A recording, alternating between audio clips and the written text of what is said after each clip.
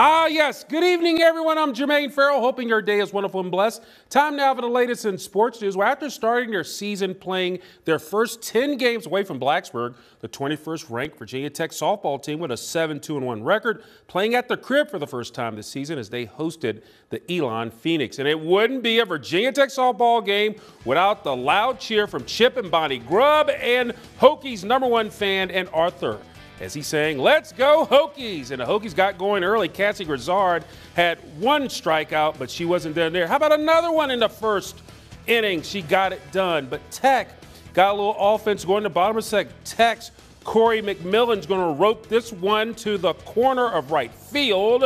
And that will be a stand-up triple as she's going to make it all the way to third.